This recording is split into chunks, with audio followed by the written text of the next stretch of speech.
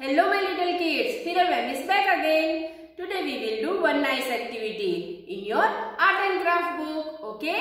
Page number three five thirty five उस पे बहुत अच्छा एक हाउस का पिक्चर दिया गया है ठीक है तो उसके अंदर आपको कलर फिलअप करना है चलो तो शुरू करें आज की एक्टिविटी